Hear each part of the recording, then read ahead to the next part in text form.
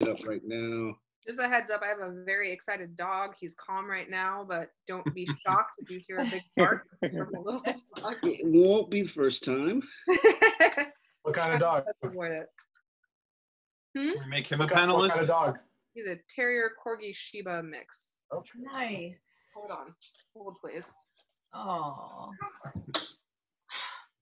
Oh, awesome. Yeah. Oh, what a cutie. Yeah. I mean, he Oh can my hang. God. He can Gorgeous. stay. Might be able to hang, but he's gonna like climb up on the table. It's the treat bag. I love it. Oh. All right, you good? You're okay. Aw. Okay, we are uh, we are going live on Facebook, Well, hello. and I will be. I'm now going to up? I'm now going to open the door to uh, to the webinar, so we should have people start coming in. Cool. Now, the webinar is live. Are the Winklevoss twins still planning to be panelists?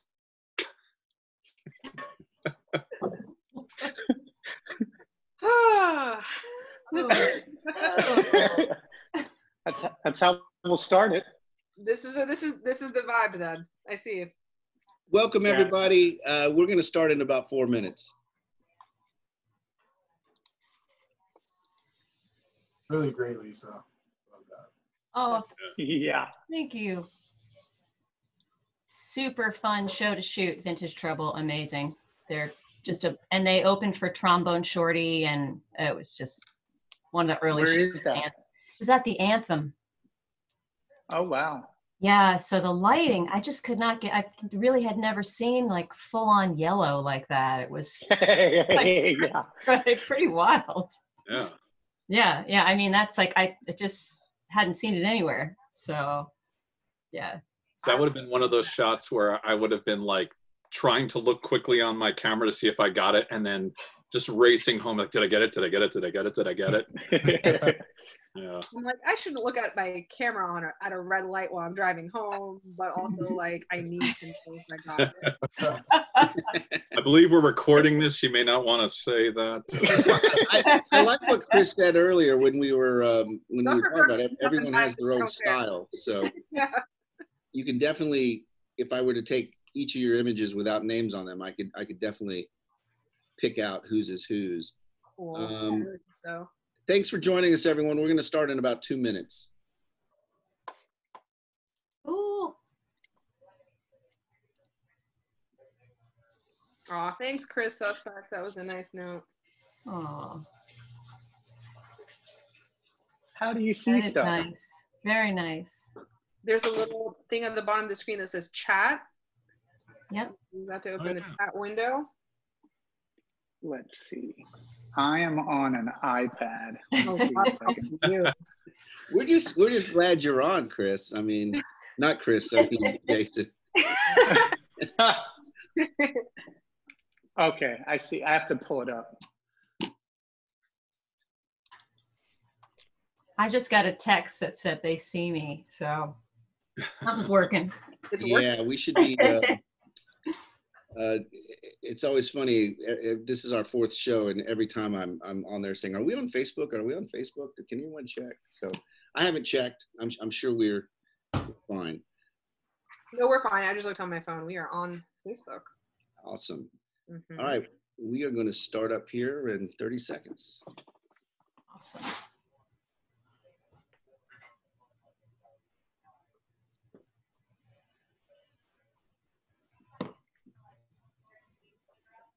Hi, everyone.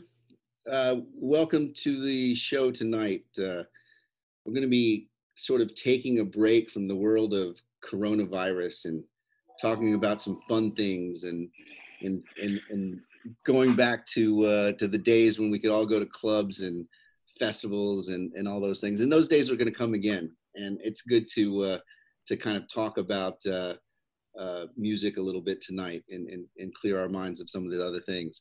Uh, the um, the program is part of our virtual photo festival. Uh, it's uh, the focus on the story photo festival was supposed to be held at the end of May. Uh, we ended up canceling that, and we are now switching entirely to a virtual program. Um, we are streaming shows each week.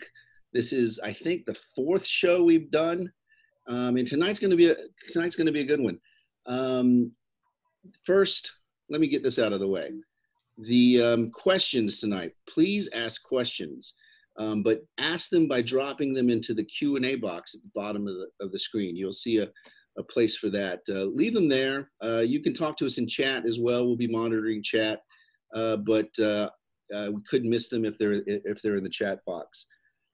Um, tonight's moderator Oh, is Jason Hamacher.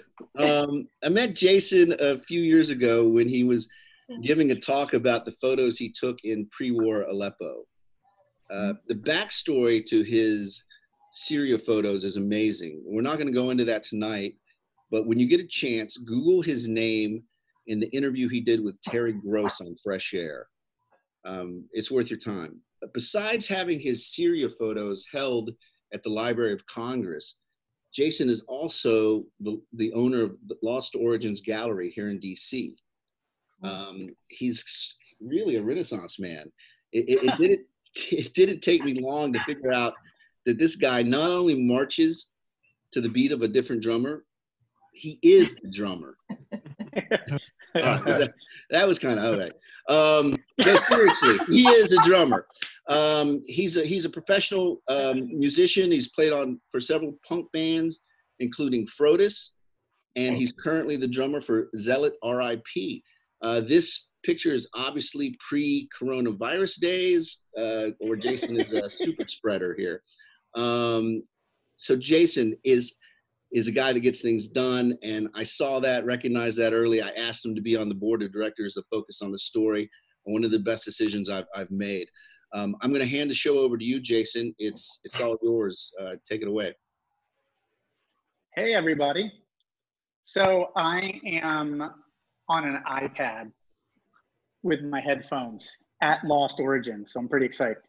Um, what I really wanted to do with these four photographers and everyone that's paying attention is to one, have a conversation with the photographers about shooting live, shooting not just rock or hardcore, but just music in general, what that means, how does it actually work, what, how does that affect the individuals involved, but then also for everyone that's watching, be able to field questions about how to do this if you want to break into doing uh, photographing photos of live music for yourself. Um, we're going to do this alphabetically. I'm going to kind of turn the camera over to the individual and we'll start with Christopher Grady. Chris shoots uh, a lot of local indie punk hardcore music here in DC. Um, typically does black and white.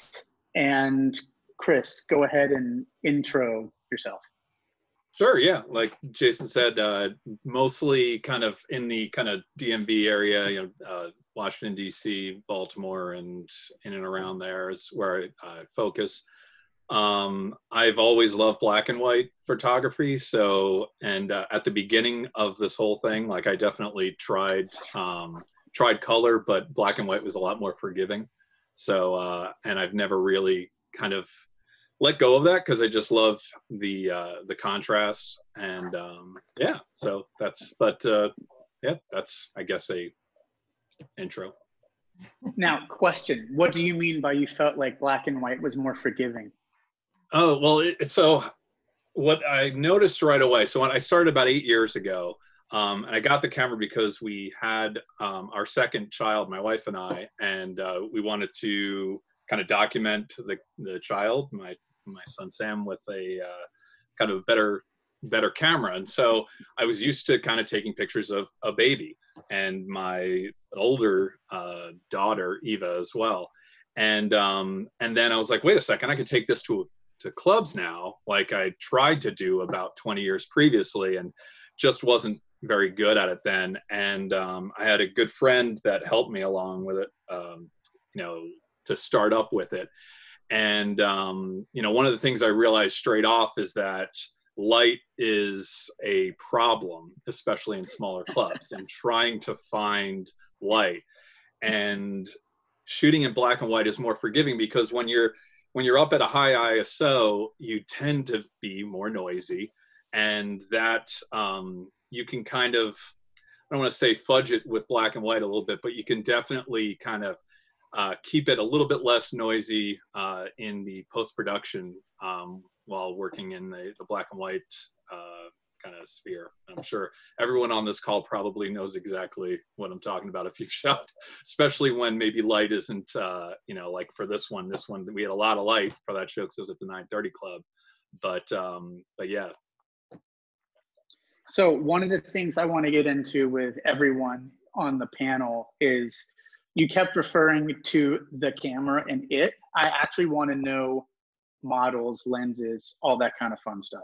Cool. But we'll get to we'll get to that in a little bit. Okay. So, according to the alphabet, Abdullah is it Conti?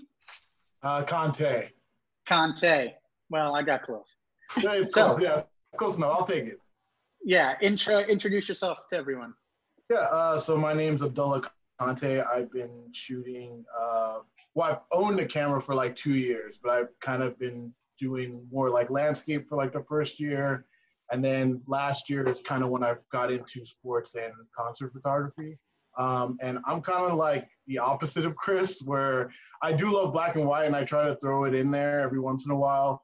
Uh, but I'm very known for being, you know, kind of heavy on the saturation side of things. Yeah. So um, yeah, that's kind of like my style. But know, I just love shooting shows because it just is. Uh, I love going to places that have a lot of energy. So uh, you know, I grew up playing sports. My my family's a sports family, but we're also big into music. Um, and yeah, so I'm the house photographer at Fillmore in Silver Spring. Um, and it's just been fun. I've been able to get to see a lot of different bands and, and artists and musicians. And, um, it's just just been a lot of fun being in this field. What did you used to play? What sport? I used to play football. Uh, I was a corner. Um, I played at the University of New Mexico, which is like also my hometown. So it's kind of random. Go Lobos. You know, so gotta throw that plug in. You know, yeah. that well, no, that's so.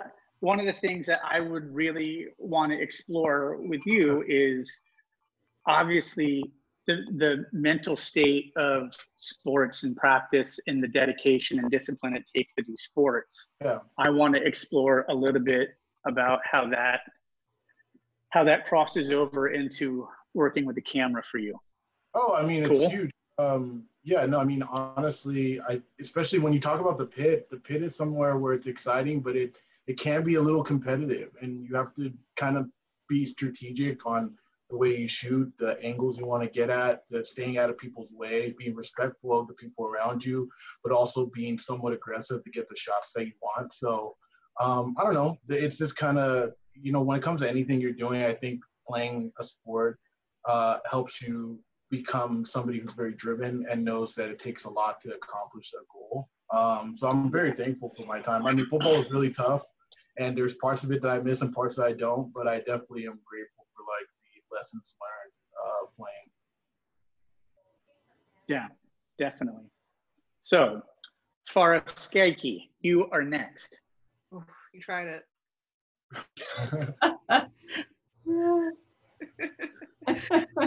Go ahead, do your thing. hey, hey, do your thing. So, so I've known Farrah for a while in and around being in music. Um, one of the big reasons I really wanted to have her on this panel is because not only does she take amazing black and white photos, but she just published a book. And that is Yeah. the print component to all of this is something that I find super important. Um, Chris also has published a really incredible zine. Um, was it late last year, Chris? Uh, yeah, about halfway through last year. Yeah. And so part of the discussion that I find is a lot of times concert photography ends up being on a screen, but to take it from screen to page is a one it's a hugely incredible experience then besides that it's just a different thought process as well so Farrah, go for it um, yeah, at the end of February, I put out a self-published book called Present Tense that is a really this body of work of the past five or six years of DC punk and DIY. Um, it's in black and white. I'm mostly shooting black and white as well, similar to Chris. For me, it started as kind of like a crutch when I was shooting in spaces where I couldn't use flash. Um, and there was like that really aggressive red club lighting. Like so many venues I love do that. I just hate it so much. Um, and you can't always rely on the flash in um, spaces like that. So black and white became um, a way to fix what I didn't understand about the lighting, and then slowly became something that like I shot with the intention of getting um, you know high action and high contrast. Um, I grew up like I got into punk because of Maximum Rock and Roll and got a subscription shortly after that. I had a subscription to NME. I had a subscription to Spin, um, and print was always something that was really excited, exciting to me. Um, and punk in general, um, similar to like go-go in DC is a collector culture, like tapes and shirts and records. Like we're about having the stuff. We're about uh, bragging about having the stuff that other people don't have. So for me, it's always made sense to connect what I do to print because that's how we share things in punk. Um, also like i learned to be a photographer in a very digital age where things were just on a screen and i never really forgot about those magazines i used to hold in my hand even something in newsprint like mrr and i always the goal was always to like get in print whether somebody else was printing my photos or i was doing it myself. So this i printed you know smaller prints before um, done benefit sales. This photo of turnstile which is from 2017 uh, or 18 i forget is um was a I did a 50 run of this print to benefit um, the UN Refugee Works uh, Committee and raised over a thousand dollars for Palestinian refugee assistance. Um, a lot of the prints I've done are for other causes. So this book was kind of the first thing I did for myself, and it's been really exciting. So that's, that's what amazing. I have to say about that. yeah, it's great. Um, Lisa Walker. Yes. Get in there. Um, so I'm Lisa Walker. Um, I've been shooting, I guess, a little more seriously since about 2012. Uh, I'm I shoot in color. Occasionally, I shoot in black and white. I kind of just feel it out. It just depends on the situation. Sometimes when I'm shooting punk and darker, smaller venues, I love the black and white. Uh, I like the texture and the feel. But other times when I have opportunities to have some really exceptional light, maybe at like the Anthem, sometimes at 930 Club, some of these venues. Uh, this is Merriweather Post Pavilion, actually. Um, I love to take advantage of that. Mm-hmm. And uh, in some ways, I love that challenge of really not having any control over anything that's going on up there, you know, in front of me. Um, right. And uh, this is actually a Swedish metal band. Uh, they were opening for uh, at this. They were part of the Slayer farewell tour.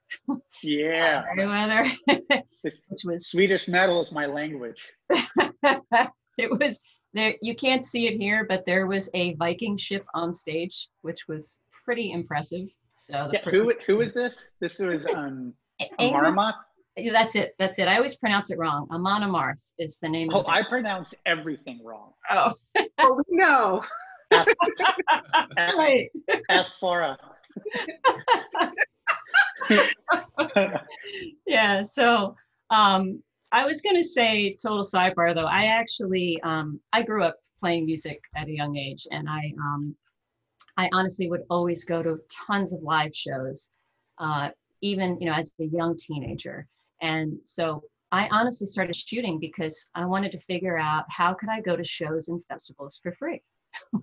I mean, it was, you know, that's right. sort of the motivation, honestly and because some friends of mine said hey you know this these pictures look good or this is good. Why don't you try it or why don't you try to get press for this or why don't you write about it? Why don't you write about it and shoot it? And um, it just i was said always going for the music anyway. I love the energy. And that's one of the things i really love about shooting live music is i tend to really like to shoot the shows that have a lot of energy whether it's the band or the audience and the fans. Um, I love being in that.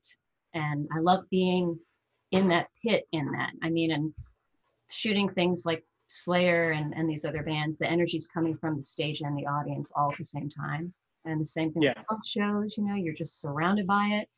Um, oh, and I was going to say, I basically, I, I wish, um, I, I actually, I work in print publishing and I haven't done a print version of anything on my own, but ironically, uh, but, um, uh, where it was like, Oh, I would love to do, I shoot for IMP as, you know, one of their house photographers in the DC area. Um, there's quite a few, uh, you know, concert, uh, large group of people that shoot for all the venues. Um, I shoot for Bonnaroo as a staff photographer, and I shoot for South by Southwest, and and then a few other things occasionally. Um, press things uh, for various different outlets, but uh, I wish I'd like to shoot more bands, and um, love to do more of that. And obviously, I shoot a lot of festivals and things like that. So that's me. Cool. So one uh, one of the things that I wanted to talk about is, you know, everyone basically described a little bit about what they shoot, how they shoot, but everyone on here is a professional. Um, what the transition from just showing up to photograph and starting to actually get payment of any kind. Because for a lot you know for a lot of people it's more like hey can you photograph my band? Yeah that'd be fun.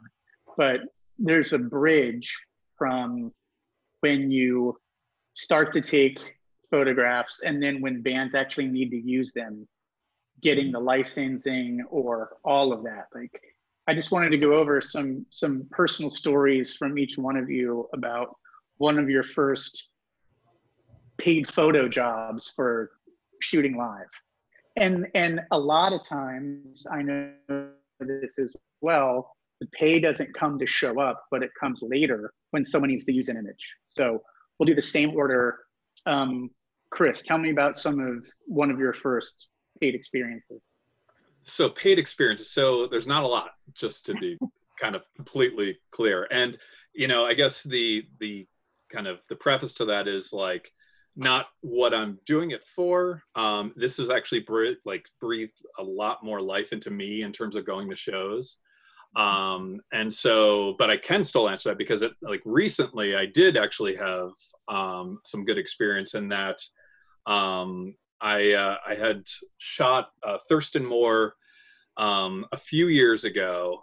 Um, this image right here, actually, and there's there's two of them uh, of him, and um, and one of the images, or I put both of these actually on Instagram, um, and I started to notice, and my good buddy Greg, hey Greg, he's on here, uh, also uh, started noticing that Thurston was kind of um, was using it, which was awesome. Like I thought that was great. Like he liked the picture. I loved Sonic Youth since I'd first heard Titanium Expose and Pump Up the Volume in like 1990, and um, so it was like really. do you have a cool. photo of wait do you have a photo of what you would have been wearing while listening to that album Uh, n- no photos exist at that. uh, I, I I probably would have had a, uh, a some sort of either like a Steve Caballero T-shirt on or some sort of skate shirt at that point because I was deep into it at that point. But did But- did you wear JNCO jeans or Skidz overalls moving on, that's a yes moving on. So this particular, it wasn't this photo that we that I kept seeing, but there was a, another one uh, in here, and I guess if uh, to help that that's it. So I, he was using this one a lot, which was awesome, and thought it was great. And I love this photo. I I just I hate to say that I love a photo of, that I've taken, but I just kind of really dug how it looked. And this was at the Rock and Roll Hotel um, while it was still open, and um, and so we were watching this happen. And uh, then at some point, um, my buddy reached out and said, "Hey, if you want to credit the photographer, it's uh, this is the guy." And from what I can tell, I think they all kind of went, "Oh crap," because they didn't know. They thought it was somebody else, and they actually had used that first photo in Thurston's latest um, uh, CD that just that had come out called uh, Spirit Counsel. Great actual um, kind of box of three discs. And uh, and I very I, my wife and I and the kids were I think actually just a wife and I were in um, we're at the Hirshhorn just walking around when I start getting these notifications like you know ecstatic peace library wants to talk to you or something. I'm like what's going on? And come to find out that they they were very kind of cool and they said look we're really sorry. We didn't know that you had taken this but they made it right and i got paid kind of well over 500 bucks for it and it felt good. Like i was like wow out of nowhere yeah. got paid you know for this. And again I, I think that's not how they do things. I would like to say that. Number one they were amazing. Um, they put me on two shows afterwards saying like look whatever we need to do to make this right even making it right just would have been hey it's cool. Just thanks for letting me know that you you know put it in the in the box set. Um, i was Right. just kind of excited about it. But it did you know it helped because you know around that time my um, i was shooting on a nikon d750 and i was in i was at the at a makeup show in at the black cat and my camera broke just stopped like the shutter finally reached its end of life. And so i had recently then moved up to a d850 and the money was a, a nice kind of um, cushion for that. Killer so did that answer it? I'm sorry i think i may have rambled. Yeah no yeah no no it's great. Abdullah what about you? What was your fir- your kind of transitional sh- one of your transitional shoots from um, just doing it Yeah. for fun to doing it and maybe getting paid for it? Well, yeah, I mean, I, I like it's been like a year, so it hasn't been like the longest period, but there was a time where I really wanted to get into just every type of photography. Like, you know, a lot of the advice I got from mentors and stuff was like, hey, try out everything. You know, if you want to yeah learn more about photography and you want to get into a specific type or find your niche, try everything. So I would go shooting dogs, I go shooting sports, I go shooting anything I could. And I remember my friend uh, was going to an event. It's kind of like a DJ event at Fillmore, and um, he was like, "Yeah, you should come." And I was like, nah, "I don't really want to. I'm kind of tired. It was a Friday night, and I was an accountant before, so I was like, I just want to go to bed. I, you know, eight, nine to five. I just want to go home." But I was like, "Oh, maybe I can go shoot it. Maybe I'll get that opportunity." And when I did, I emailed them, and they said, "Yeah." And I came through, and you know, I shot it for them, and it was fun. And when I was there, I just kind of, you know, I guess felt that same energy that me and Lisa were talking about, just being in that environment. And, you know, I kind of wanted more. And I was asking everybody who was working there, like, who can I talk to to give me like an opportunity to come back? Um, so I talked to, you know, a couple people there. And so I just kept showing up. You know, I kept emailing them like, hey, any show you got, if you want somebody to come around and shoot, I will come and it was kind of like a month or two of me just going to like every show I could. And there was times where I went to like five shows in a seven week period, and you know, or a seven day period, and and they were really happy with what I was producing for them. So uh, I get this one day I got an email that's saying that they wanted me to you know come aboard. And honestly, I've just been very fortunate that was like right place, right time. But it was just kind of like, you know, it was really nice to feel that the hard work. I i'm gonna i'm gonna i'm gonna interrupt you because i wholeheartedly disagree with the phrase right phrase right time um, Okay, sure. you weren't at the right place at the right time. You were super persistent in wanting Sure. to be a photographer. And the Yeah. pers- but but I say that because you know a lot of people that are paying attention, a lot of times it feels like oh that person got a break because they happen to be at the right place at the right time, but you were persistent in contacting these people, and Yeah. that's important. Like the persistence, the like you can be an amazing photographer, but if you're not actively trying to go out and do these things, then no one's going to know. Yeah, and no, so, I mean, big, big, big kudos to you. I mean, that's it's incredible. You know, Thank you. No, yeah, I mean, I, I think you know it's it's tough because you know I don't want to just only credit it to just the hard work because I agree. Like you can't get anywhere without hard work. You have to put the time in and effort. And so when people ask me like, what can I do to get into this field? I'm just like, you really have to work hard and realize this is something you really want to do. But it's also like the reason why I say right place, right time is because you also we also are in this industry and we know plenty of people who've worked really really hard and maybe haven't got that break yet and it's something where you want to make sure that they know to keep going because it may be coming soon And um, for me, I was just grateful that I got that opportunity. And so, um, Right. you know, I do. It's, it takes a little bit of luck sometimes too, as, as well as hard work. Yeah, I agree. It a- takes a it, it definitely takes a little bit of luck, but the there's something that's interesting when it comes to the creative arts, where if you're doing it out of passion, but then there, there comes a time whether you're in a band or you're a photographer or you're a painter where you start getting paid enough, you have to make the decision, do I try to turn this into my profession Sure. or do I kind of coast and be kind of like a professional? When I say hobbyist, that's got nothing to do with skill, but like as far as Yeah. time involved with the craft. You know what I'm saying? Yeah, you're right. And, and, and And- honestly, I, I quit my job seven months ago because of that, because of what you're saying. Like, I was an accountant, and granted, now it's kind of like, man, I wish I had that accounting income.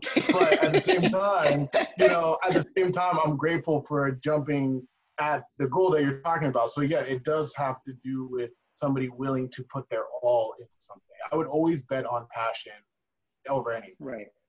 Right. No, it's great. Um, Farrah, Hello. um, Um, so first of all, uh, like Lisa, like some other folks uh, in the DC photo community, I also shoot for IMP and their venues, and I've been doing that on and off since I was about since I was like 20. I think the first show I shot for IMP was like right before I turned 21. Um, and I also all my music photos started with friends' bands in basements, like in community centers, at Battle of the Bands, at birthday parties, whatever. Um, I got into photo and I wanted to just take my camera everywhere and I was shooting with a Rebel. And I got a couple opportunities with some DC online magazines, including um, Brightest Young Things, to just show up and shoot. Um, I knew that I was cultivating the skill, but I didn't feel like I had the access. Like I was barely 21. I wasn't planning on being a professional photographer, a full time music photographer. Um, and I'm sure we'll talk about the exposure portion in, at some point, or and I'm sure people will talk about you know the compensation portion of this at some point in this panel or in another one. Um, but for me, it's very much like if you do believe that an opportunity can afford you exposure that is worth it to you, you have to kind of set the terms. So for me, it was easy to like talk to a site like Brightest Young Things and say like, I want to shoot for you. Um, I know you're not like paying, but I need to like have ownership of my photos and like I need photo credit and I do need the. You know, I, I I knew I was getting something out of getting a press pass through them, um, and not having to set it up for myself. Like I was 20, I didn't know how to set that up for myself. I didn't know who to email. Hi 930 Club, I have a Canon Rebel. Please take me seriously. Um, I shot for BYT the week before I turned 21, and it was Lemuria screaming females and against me. Um, and that really, you know, I've, I've always been into punk since I was like 12 or 13. Um, but that show, and I think back on it, and like I now have a relationship with screaming females. Like I've shot their um, promo photo for like their second to last record that they used for a lot of their touring and things like that. Um, there's a promo photo in here, the one color one of the DC band Red Death. This was a band that I just shot because like I like them and they're my friends and their energy is great. Um, but um, you know, when they signed to Century Media and had a budget, they were like, "We want to hire you to shoot." Um, I think a big part, like the best advice somebody's given me, especially as like a woman and a young woman working in this, is like when somebody asks you what your rate is to say the highest number that makes sense to you without laughing out loud. And I've stuck with that from the beginning. it's the best advice I've ever gotten. Um, and there's a little bit of like a trade off. I feel like I've grown with a lot of the bands that I shoot really regularly, like that band Screaming Females. Like I'm almost 30. I've been shooting that band for 10 years, so I know them inside and out, right? This photo of Ceremony is at U Street Music Hall, a place I love very much. I shot it for IMP.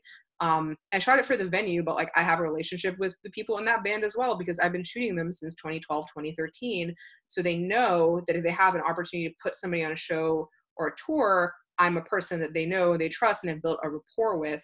So I think part of that, I, I'm not completely sure when I decided that I'm a professional photographer and I don't intend to make music photography my primary career of source of income. Um, I'm a creative director. I shoot a lot of other things that aren't live music at my day job, which is also sometimes an evening job. Um, and I love being able to shoot a lot of different stuff. I shoot a lot of food. Um, I used to play sports, uh, play hockey. I'll shoot hockey when I have the chance to do so. Um, but for me, like I just really love punk. I feel good being at those shows, and it means something to me. And I'm really proud of what you know the shows I get to go to and the people who are there. And I really just want people to know that it's the thing that's happening. Um, people talk about DC punk in the past tense. So I want to make sure people know that it's still happening. And like all these photos were taken in DC, on DC venues, and they're like DC bands or DC area bands or DC based music festivals. So um, that's my main motivation. And if somebody in a band wants to be able to, you know, buy a photo later or use it for something and figure out some kind of agreement, that's great. But for me, that's just kind of a bonus of getting to do all sure. That's great. Um, Lisa. Yes. How did you start shooting for South by, Bonnaroo, IMP, all of those? You know, um, I feel like you know, like like when you're saying when you put yourself out there, you know, and you start to. I actually, well, actually, it all started because um, I work at National Geographic, but I work in book publishing, and um, there was. In you do? Yeah. Do you work yeah. with Do you work with Sana? I do. I know Sana. Awesome. Yeah, she's you, a friend of mine. Do you know Melissa Harris? I do. That's I, I work sick. with Melissa. Yeah, yeah. Melissa, by the way, for all of you, was also she's a creative director now at National Geographic and Books, but she also was in a band uh, years ago. Uh, she plays music as well, and uh, and Sana is just a really super talented uh, designer who's from Morocco, actually. Which and Melissa's not just in any band. Yeah. Oh yeah. she was in the band Tuscadero that yes. was amazing from DC. That I don't know if you know, Lisa. Frodus was on a record with Tuscadero. We no did, way. Yeah, we we did one song each. See, it was awesome. DC is such a small world, really, isn't it? In the whole creative community, I mean, it's unreal. But uh, yeah, actually, um, totally. It's so small, and you know, opportunities. I just this, by the way, the, the reason I got to shoot this photograph that's in front of you right now, which is actually at a Moroccan music festival, was all because at one time Nat- National Geographic had a division of Nat Geo Music. And it was so cool. Uh, oh, yeah. You know, I mean, it was underused and um, unfortunately it got cut out of a budget, of course, at some point in time a few years back. But uh, I had gotten to know some of the staff and I was just helping them out. I had made a decision. I, you know, was really enjoying shooting festivals music or whatnot. And so they would actually set me up for press to shoot at the venues in DC and I'd shoot a lot of, uh, world music, which I love as well. So this was an opportunity when the editor said, hey, you know what, um, we're going to go to this festival and uh, we need a photographer. And in this case, I wasn't necessarily going to be getting paid um, for actual individual photographs. However, uh, they were supplementing some of my costs, um, some of my, my airfare and where I was going to be staying. Uh, so in my, and you know, you like was saying, you make these decisions sometimes uh, of what's sort of a value here. I was excited to be supporting them. I knew it was going to give me some great opportunity uh, some amazing op- photo opportunities and uh, and and supporting this and it was just so it, it was it wasn't paid as in uh, individual shoot necessarily but it was such sure. a good opportunity. By the way, Farrah is in this yeah, picture. I'm in this photo, and now I'm like, what is my what is my reverse version of this photo of Hank Wood from Damage City last year? Right? so fun. we need to make like a side by side zine of like yeah. photos we got from opposite yeah. sides of the stage. Oh my God, it was so much fun.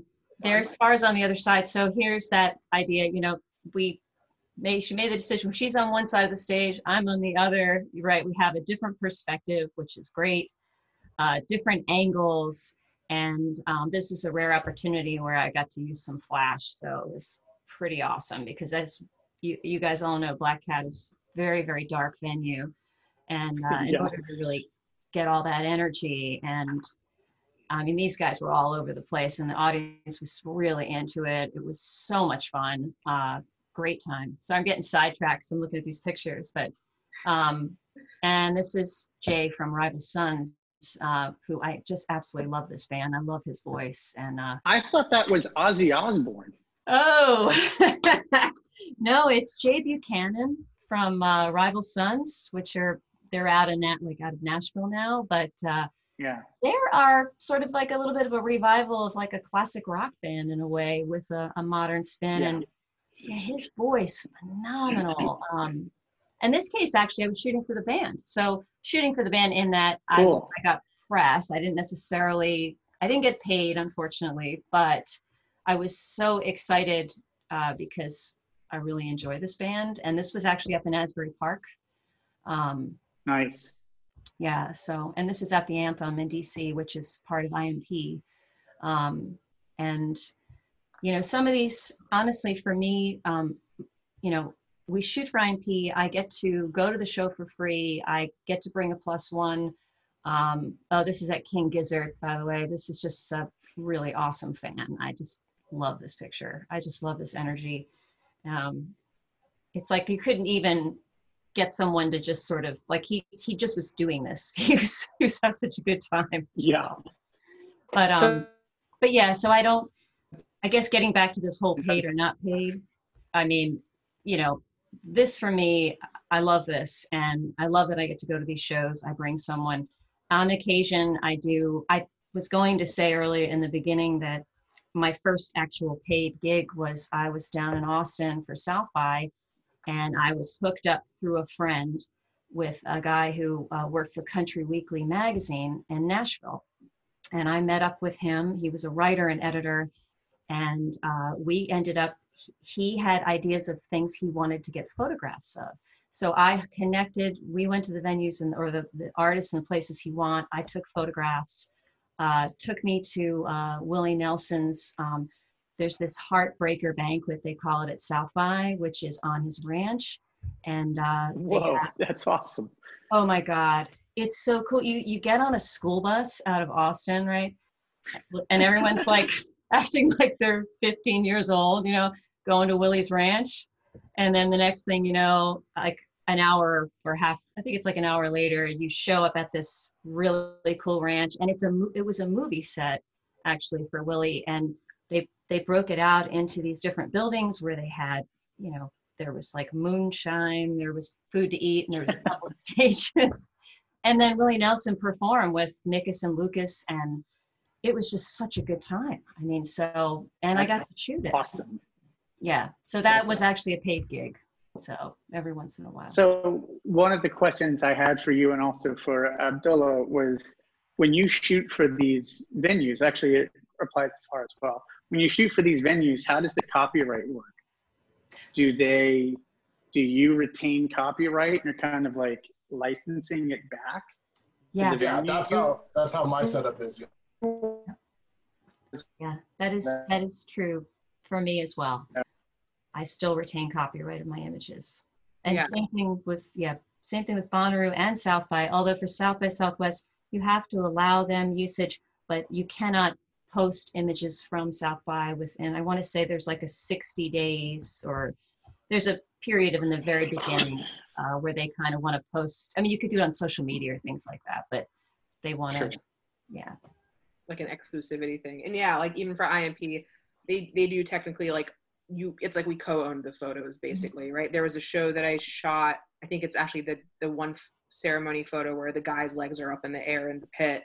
Um and they were like, "Oh, hey, like a writer from Washington Post might somebody from Washington Post might be coming to like write about the band and they might need to use the photo." But they like let me know ahead of time. So it's like we both own them, but they're not gonna like give my photos to somebody without giving me a heads up um, unless Sure. it's like on a Facebook ad that they use like for the venue or something like that. Uh, but that's kind Right. of part of the trade-off. Yes. Right. Awesome. Um, one of the things that we were kind of joking about with you, Chris, was wearing JNCOs or whatever. But um, one of the Thanks. things that I think is actually, well, it made me think. So, capturing these artists on stage in a very specific time, place, location. You know, fashion changes everything. One of the things that I think is really interesting is being able to glance at an image and then it's it's iconic you know like i had no intention of doing this but i i've started to frame the exhibit can you see can you see that photo right there Yeah. Yeah. That hmm. is bauhaus in Yeah. 1978 and then these that is sid vicious and debbie harry Yeah. from 1981 and 1982. Debbie 1982 Harry photo. it's insane Nice. they're they're from this photographer in San Francisco. This will be the exhibit whenever we're allowed to go back out in public. But taking these images, like th- these photos, have never been shown in a collection before. It's been 40 years. Crazy. So one of the things that I find interesting, and I just kind of wanted to talk about all of you as photographers, your interactions with the artists, not not uh, not us, the artists, but like with the musicians. Um, have you had interaction with the individual? Um, not with someone that you know, with someone that you took a photo of and then ended up met because of the photo, or something like that. Does that make sense? Mhm. Chris, you had mentioned Thurston Moore, but what about someone else? Have you photographed? Oh, hey, Hi, how are you guys? Hello? hey guys. This, Oh. speaking of musicians, this is Allison. She sings for the band The Kills. No way. She's an old, she's an old friend of mine. Uh, and where are you, Allison? So right one of the things that one of the things that we were just talking about was how photographers and then the musicians it's kind of a symbiotic relationship and have any of the photographers met musician that they ended up kind of befriending or having an interaction with because of a photograph. So i'm going to ask you that question. Like obviously you play shows everywhere. Um, have there been photographs or photographers that have taken photos of you that you've ended up wanting to use for something that you just don't you didn't know who the person was you just like their art Um, yes, definitely. And I mean, definitely like when I first started being in bands, you know, there'd be the band and then you'd have this like crew of people around and there'd always be one or five people with, you know, that wanted to be photographers, you know? But then some of those people did end up becoming photographers and going on the road and I still know them and I love their photos, you know. But yeah, there's the the occasional is photo- that is that person sean scallon He's one of them, actually. He's been Yeah. me in a long time. But you know Mark Merman. yeah Do you know Mark Merman? Yeah. Yeah. He's someone that, you know, if I'm ever in San Francisco, there's no way I'm not inviting him because guess what?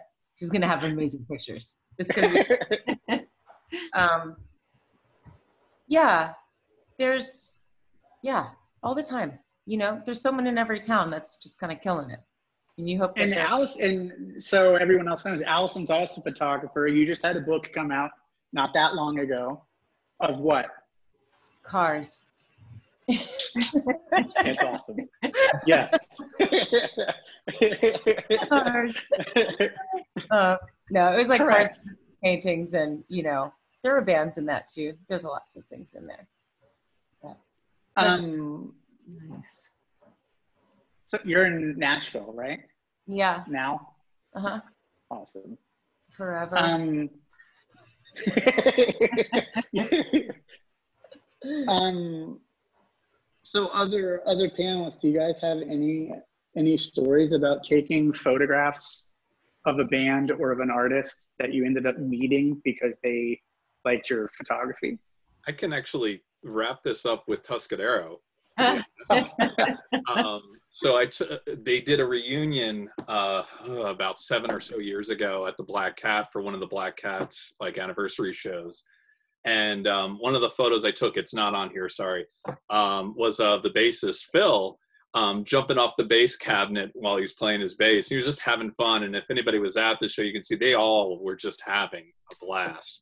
And uh, I, I enjoy, really like that photo. And then a couple of years later, I ended up with my wife and I and our family moved, and we come to find out that um, that Phil lives right down the street.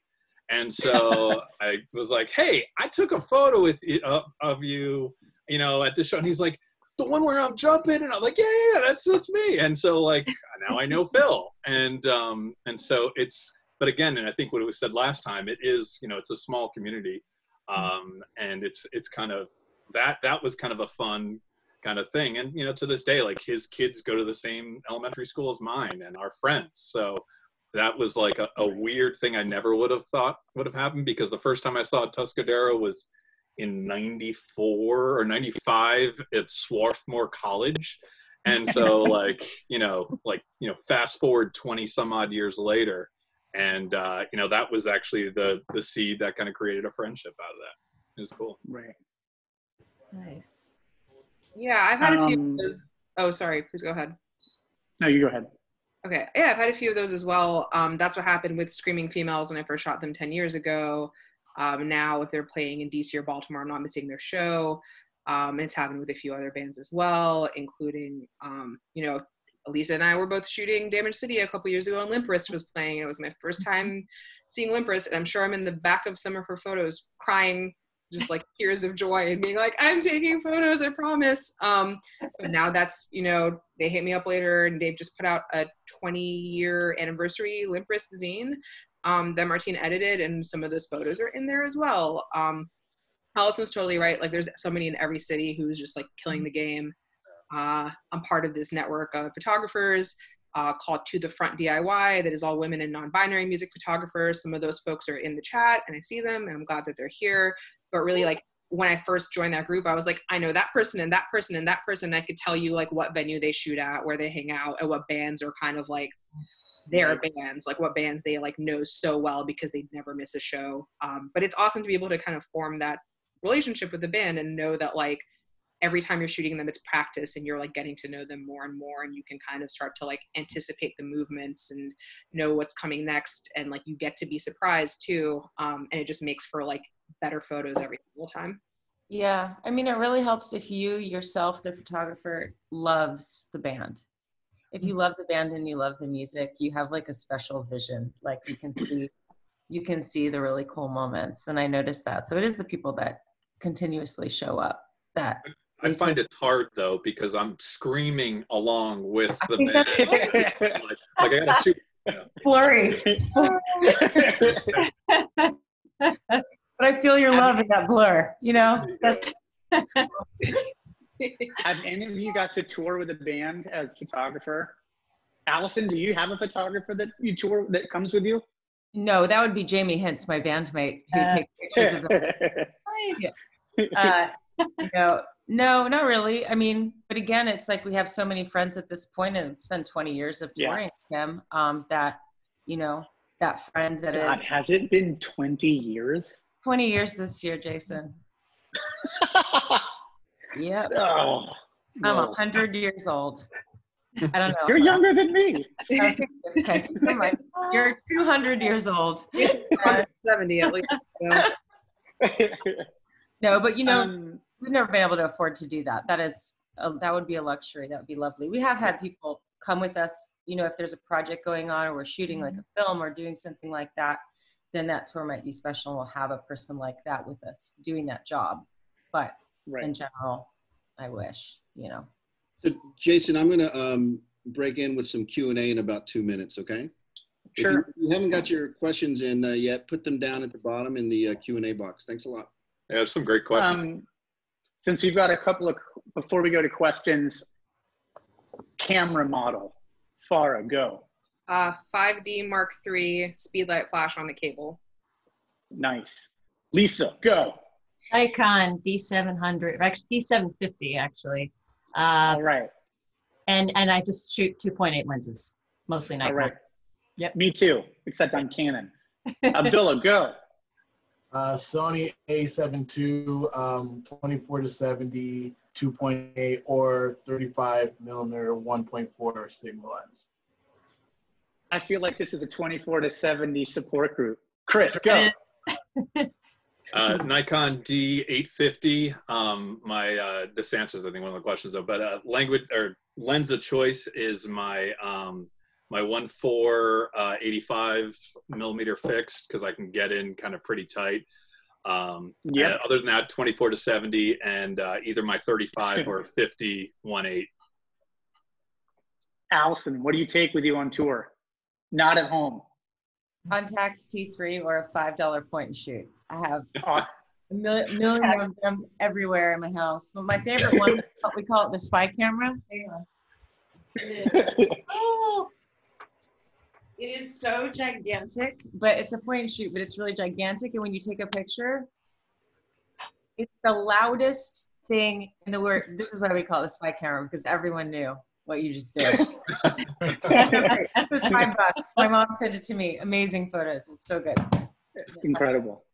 So a lot of the questions were about access and how to get access to clubs. Is Cherie May, are you there? I'm going to um, allow you to talk. You can you can unmute yourself at the bottom of the screen and ask your question. Yeah, can you can you hear me? Yes. Okay. Hey everyone. Hi. Hey Lisa. Hey, how you doing? Good to see you. Nice. Uh, thank you guys for your time, first of all. And um, I heard many of you. The common thing was that you you were going through the venues to shoot a lot of these shows. Versus, I think I heard one person say they had the venue and the art had a relationship with venue and artists, but most of it has been venue. So if someone is trying to shoot a show, then where where would they start in terms of who should they reach out to at the venue? Hmm.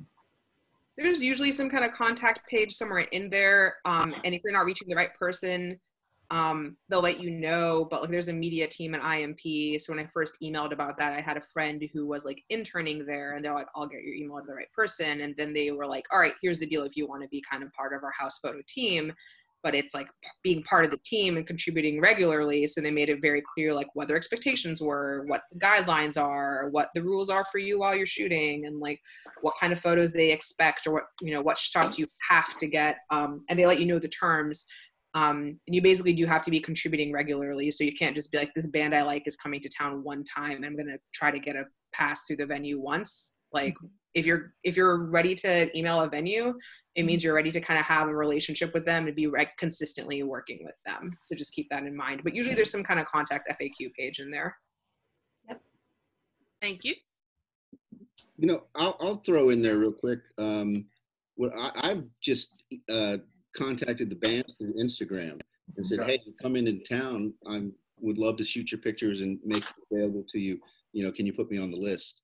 And Yeah. you know, it, You've Yeah. had, you've had some success. You've had success with that. yeah, yeah, for sure. Especially I- I would, I would say another thing that I kind of tell people too, like for instance, a lot of people want to obviously shoot bands or artists that are very popular, and it's really hard to get in or get in contact with them. Sometimes I say, how about you contact the openers? They don't usually have somebody that will take pictures for them, and they would love to have someone take photos of them. So that's also Yeah. another strategic way to try to get it. Yeah. Yeah, also, can I just say real quick? I get I get a lot of like emails through the band site and through Instagram, and people will ask to come and take photos, and they'll send me examples of their photos. Mhm. You know, and if I love them, then I'll get them a photo pass. So I think that that happens. You know, I think every band wants great photos of themselves. We're all just obsessed with those. Less, less maybe your Lindsay I'm joking, but you know. Uh, Brian Howell, are you out there? I'm going to um, uh, allow you to talk. Just unmute your mic at the bottom of the screen. Hey, how's it going, everybody? Thanks. Hey, Brian. Oh, Uh, shout out to Frodus. I did not expect to encounter Frodus tonight. Thank And I used to rock. I used to rock out to Conglomerate International back in the day. Still do occasionally. That's, Thank you. that is awesome. How much you pay him? Um, I yeah, took my glasses to you.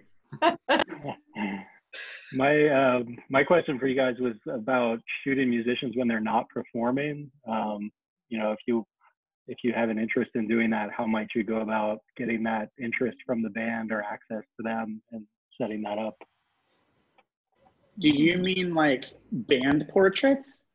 Yes, like band portraits. Nice. I mean, I think it's the same. It's the same way. Like most band man, you know, bands have either direct access through Instagram, Facebook, however you like the band, or their manager, or whatever contact. And it's essentially like Allison was saying earlier, like every band needs photos all the time. And so if you are good and you want to take a picture of a band, just like she said, like submit to the band and see what they have to say. Yeah. You know? And to Abdullah's point earlier, if you don't hear anything, do it again and do it again. That doesn't mean they're saying no. That just means they're not paying attention or you need to get their attention in some fashion. Mm-hmm. I've been ignored. I've been ignored a lot, a lot. So it's kind of Yeah. I mean, uh, you know, on tour, like in any given day or any venue, there'll be lots of requests to do that. And a lot of people want to just come and take your picture, but there's not really a reason. Like, there's not an article that it needs to go to or a thing or a project, you know? And that can become difficult to say yes to something like that because time is really precious when you're traveling and stuff. But um, usually, if you have like an idea of why you want to do it, talking about that is always helpful sending examples is always helpful writing a cool letter is always helpful you know um, taking the time so it usually does get to us sometimes there's a few channels but most of us. Cool. Thank you very much.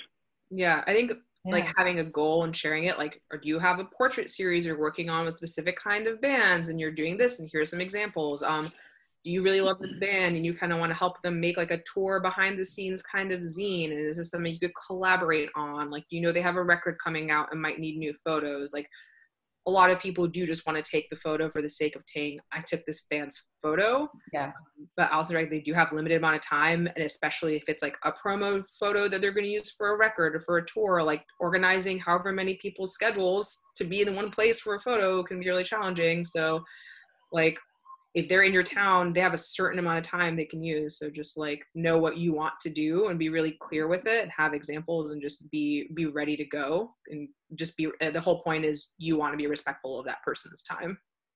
Yeah, Yeah. one of one of the things too at least when when i'm making that decision whether it's for my own my own bands or when people want to do stuff here at the gallery is can this person communicate because it's like if you're going to spend time with an individual if the person isn't clear with what they're even asking then the answer is immediately no because you don't know what on earth is going to Exactly. what is going to unfold if you actually do something with this person.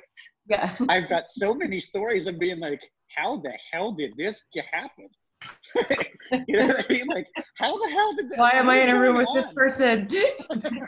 I'm like I don't I don't play music on the scale that you guys do, but like I do play some music. Like Lisa's shot my bands my my band a couple of times. Like you know, especially when you are a musician and like you you've been there, like you like playing both roles, like that helps us because we know like we know what our time Yeah. is worth. Like we know what it feels like when you're stressed out or anxious before a show, or you and your bandmate just got in a fight and you don't feel like taking a photo. So like know what you want to say and give me a good reason. Yeah. Yeah. Yeah. Right. Yeah. Uh, Gregory, Gregory Scranton, um, you can go ahead and unmute your mic and ask your question. Oh, hi, hi, everybody. Um, I was just curious. Um, you know, like uh, oftentimes I will go through the band's um, publicists, and almost all of the time they'll say um, first three no flash. Mhm. Um, and I, you, a couple of you were Lisa and Farrah were talking about using flash, and I'm just curious: does the does the venue go through the artist and get you permission? Do you get permission, or do you shoot without permission? Oh. Um, you know, honestly, it's it's customary to do no flash. I mean, I think I think there's a couple things there. One is that it can be so distracting to a performer and Yeah. I think that's the last thing that I want to happen, you know. Um, but on a rare occasion, uh, you know, like we are saying at that one particular event in DC, Damage City, we were allowed uh, by the actual you know, the, the group that was putting on the event to photograph with flash just because it was so dark in there.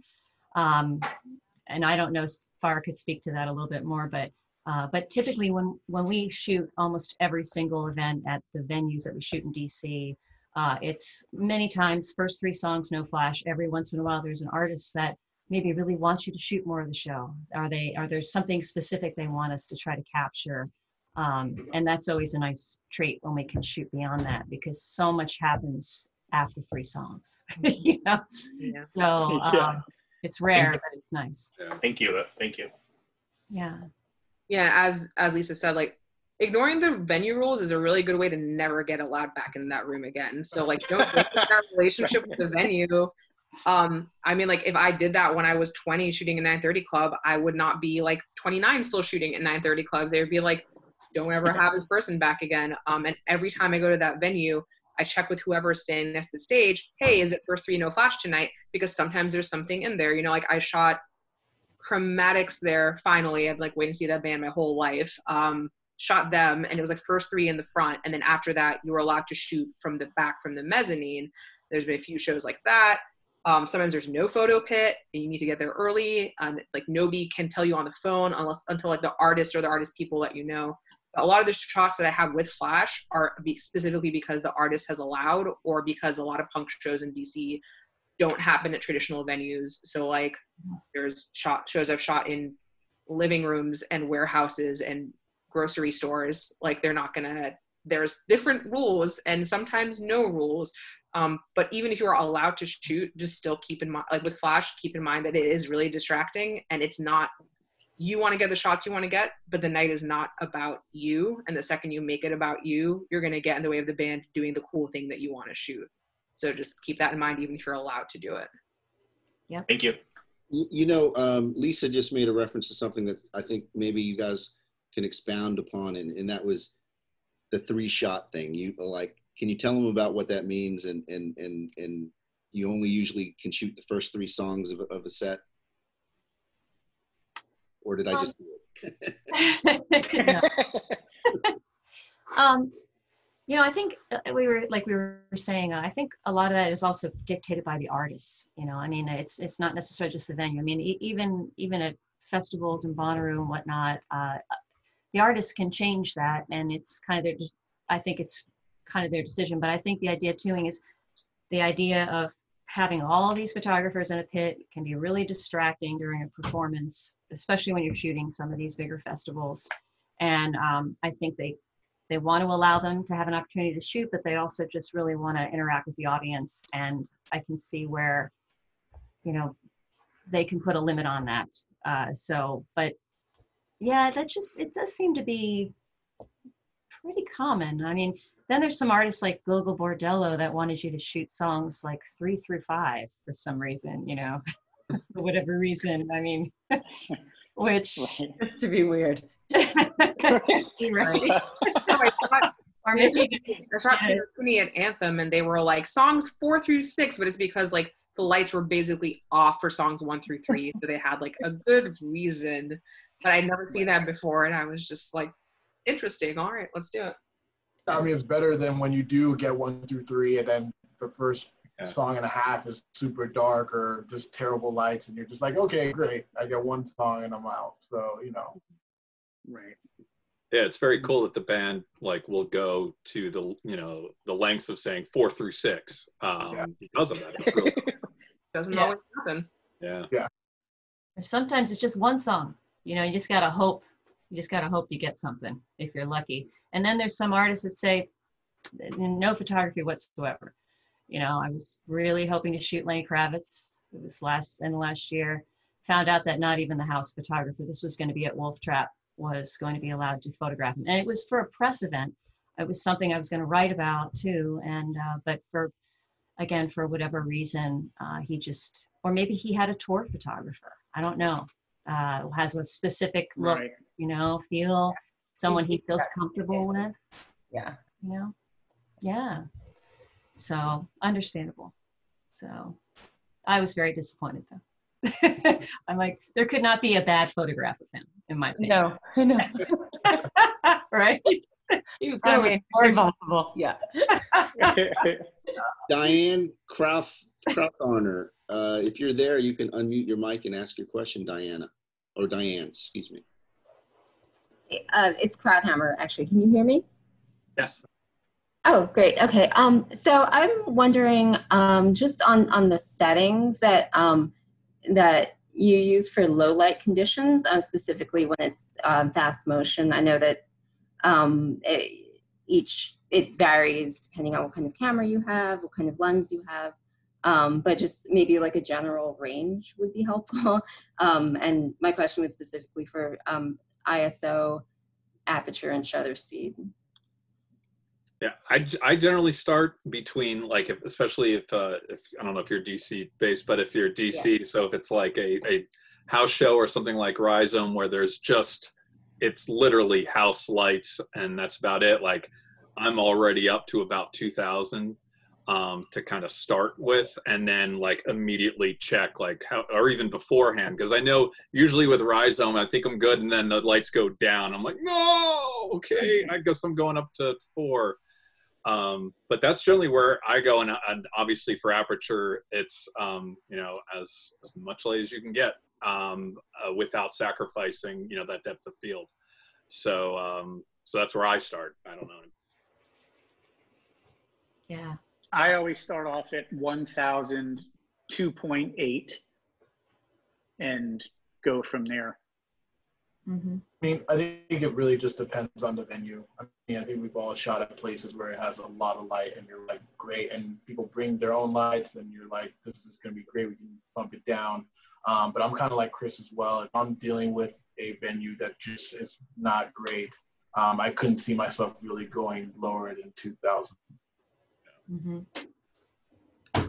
I So- usually try to stick to like 1,000 to 1,200, but if I'm shooting with flash, then it's a different story, and I'm usually closer to like 600 or 800.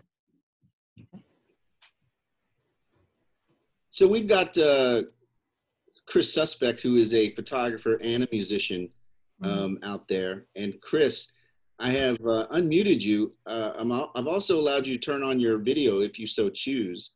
Um, go ahead and ask your question. You're me- oh, there you go. Oh my! Oh, yes. Who let Yes. this man in this chat? Unmute Wait, yourself. let him, he has to unmute himself so we can see this on the back screen. I All gotta right. see I had that on for a work chat. Uh, Hi. Hey, oh. but Is that that. shirt? Does that say I love vaping? no, it says I love Vama Veche. Oh, okay. small small small beach town in Romania. Um, so yeah, I had a all you guys are great photographers, and I've known several of you, some of you personally, but I've known a lot of your guys' work. But one thing that I found very interesting, and I was hearing more, and I I shoot music, but I shoot a lot of other things. But one thing I was hearing a lot last year when I was in Europe um, was that a lot of the bands that photographers, big bands in particular, that photographers like to go shoot, um, were slowly being denied access because a lot of these bands were preferring social media influencers. So someone with an IG account of like 20,000, 100,000 followers who's not really a, a photographer, but would give them photo access over somebody who is really a skilled photographer. And I wonder if Oh. seeing this sort of trend in in music photography and has it impacted you guys at all?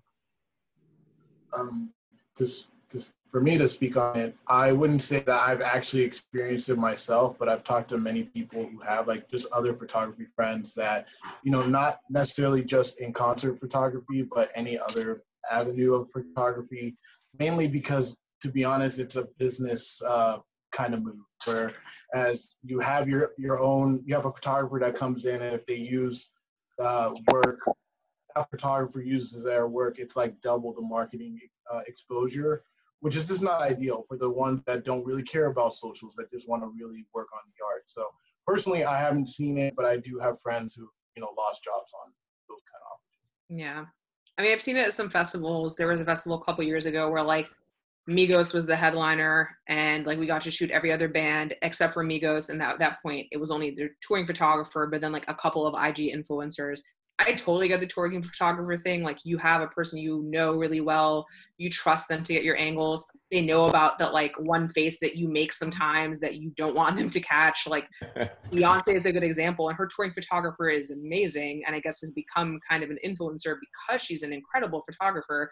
But I, part of me wants to really believe that like it has to be like the PR agency making that decision and the publicist, and not like the band being like, I only want influencers to shoot me. Like I have not heard of a band wanting that and instead it's like the team maybe asking for that or the publicist being like this might be a move for you that's that's a management decision yeah I don't Alison. How do you feel about that? Because you're I mean- in the band. Yeah, I've never heard of anyone talk about that. Hmm. And it sounds really gross to me. Yeah. Um, hmm. I don't know. I mean, I was trying to say, like, I love people that can take real photographs because I really hate watching footage of myself or photos from a phone. But I'm Right. 41, you know, I'm not 21. So I have an eye for good work, you know, and I don't, you know, I, I prefer that. I feel like it has longevity and it has influence and it has beauty, but that's just me, you know. I can understand why a younger generation of artists would see this in an entirely different way. But I, so I, yeah, we need to get someone younger on here to talk about this. It's in. Well, I mean, I I, I guess it comes yesterday. down. I guess it it also comes down to is the conversation about the art on in camera and on stage, or is it about the marketing of the art in camera on stage? Exactly. And then when when it goes to the, I mean, and both are important.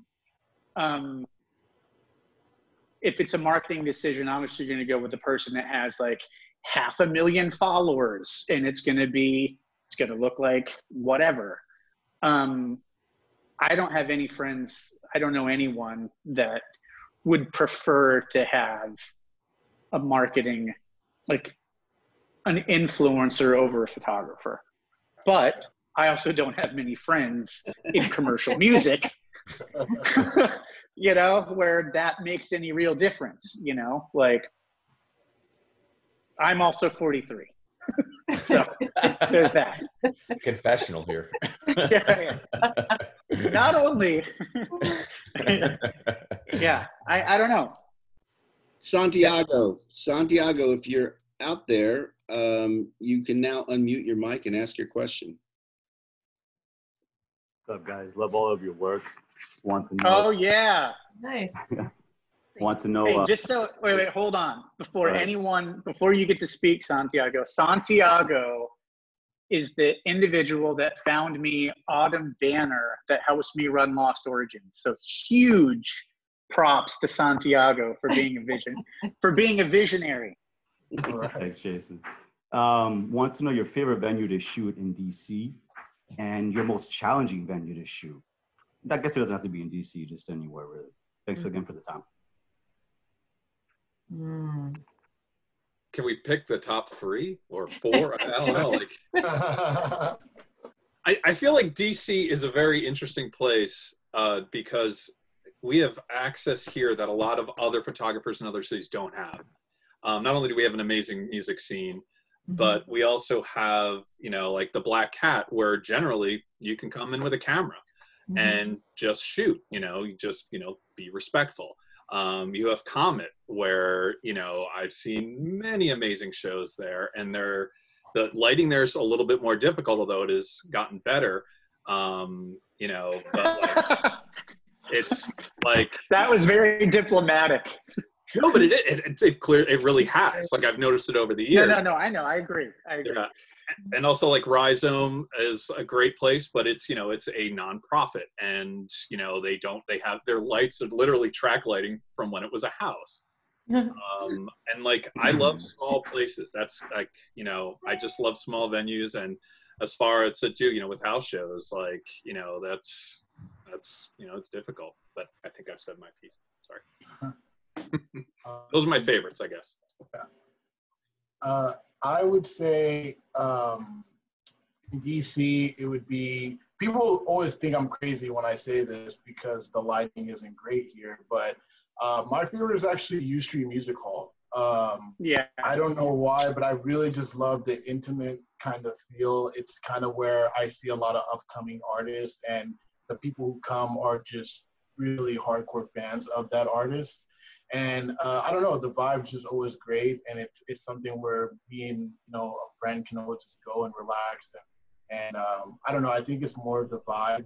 Um, it's more why I like that that venue the most, and it's you know downstairs in a basement always been a basement guy. Always loved being in basement. So I don't know. It's kind of love it. Yeah, I'm not sure, but yeah, it's my favorite. I gotta say, 930 Club, just you know, always been my favorite in DC. It's just, Yeah. I mean, I mean, I I just love the venue. I love the size. I love the intimacy of it. Um, Grant, I do. I, I do love U Street, and I actually really like DC Nine. You know, it's so small and intimate. The light is not good, you know, but seemed great. I love that small space too, but 930 is just it's just perfect. I mean, and then of course Anthem is, you know, got some great lighting and and you know, big bands and everything, but yeah, 930 Club. They actually had uh, upgraded the lighting not too long ago as well, so um, it's it's gotten even a little bit better. So I feel like it's very bright on stage there because they have that great carpet or something on stage and it's reflecting like the sun in your face. Oh, it's yeah, great. they do. So, like you know, if someone was holding like one of those shields at me. I don't know. It's great. DC9 used to have a reflective stage. They They painted it like silver, and it destroyed me for And years. playing like, there was so stressful when that stage was reflective. I was just like, I don't know if I can look down or close my eyes and nothing's working. Yeah, and like Yeah. I've got these photos, which I, I loved every part of it except the floor was just completely blown out, and you're like, I, "There's nothing I could do with this." You're just flying on a cloud. Yeah. Yeah. but I love DC9 as well. Yeah, yeah. So, yeah. And they painted or they put down Pergo or something on top of it. they got a whole makeover, it's much Yeah. better. They've set the game up. Yeah. but Oh, 930 is like always in my heart a favorite. Like being there and seeing my first show there when I was like a week shy of 21 was the most exciting thing in the world. Like I couldn't think of anything cooler. Um, Black Cat is up there. There's also a harder space to shoot in because of the no flash thing. But like once you've been shooting there for long enough, like you get used to it. You get the hang of it. You know where your spots are. Um, like no venue has to be that hard to shoot if you keep going and keep practicing and like you have to really think of every show as like practice. Like every show you're just like improving your practice you're improving your work and you're getting better. Um we do have a lot of tiny venues in dc that are houses multi-purpose like hole in the sky is like a multi-purpose artist residency right like people live there and make art there but they also have shows there sometimes and that's really cool. Like i love a floor show and i'll generally like any sh- place where i can shoot a show and the outcome is a photo where you can't tell who's in the band and who's just part of the crowd so Yeah. any space that can give me that is automatically my favorite Yeah. I like the big old theaters sometimes. Um, what's it called? Lincoln next to Ben's Chili Bowl. it can be really cool but the rules for shooting there are like not my favorite Well, no, of course. Like I'm just talking about visual visually. Visually, it's very- I like. Yeah. Yeah. Oh, and St. Stephen's Church. Like I've been looking at DC punk Yeah. photos from St. Stephen's since I was like a child in Seattle, and being able to shoot there and stand there and know like all that has happened and then that's still Oh. happening is like I live like a block away from there now, and I'm like, thank you, happy you're still here. Yeah. Speed question. This is the last question. Um, Blake is no longer watching, but I'm going to ask his question. Um, Zoom versus prime lens. What do you guys use? Mostly prime. Zoom. Depends on the venue, but I would say mostly Zoom. Yeah. I use Zoom for punk gigs when it's a small space and I don't have a lot of room. But if I'm shooting at like a 930 club or a Fillmore or an Anthem, I'll use prime lenses where I can get like that one almost like a like a like a hybrid of a portrait and like a live music photo. Like it's great for that, especially when the light is really working for you. Um, and the prime lenses are going to be good when the light is darker. So if you know what you're doing, you're going to have a good time with the prime lens. But punk shows, I'll do a zoom lens. Excellent. Yeah. So I'm going to let uh, Jason have the last word, but before we do that, um, oh, it wasn't supposed to go there. Sorry. Uh, Right. Hold on, on. I zip through this. Um, thanks to everyone for uh, for joining us tonight. I, I hope you got a lot out of this discussion. I, I sure did. Um, and I'm and I can't wait for the clubs to open back up because uh, you know I I'm going to hold myself to to my goal of at least getting out once a week and, and trying to shoot something. Um, be sure to, to, to go to our website and check out the rest of our programming. Um, we've got some stuff uh, running through the end of June, and we're adding stuff every week. So take a look at that. Um, this is the part of the night where I thank the sponsors. Uh, really appreciate their uh, their support. Uh, they're paying the bills for us to be able to provide these free shows. Uh, Fujifilm, Tamron, Multiple Exposures Gallery, Peak Design, and Capital Photography Center. Um, we got a great show coming up next week. Okay, staying with music. Um, uh, Vikki Tobak is going to be presenting um, her book. She wrote a book and she's got an exhibit called Contact High: A Visual History of Hip Hop.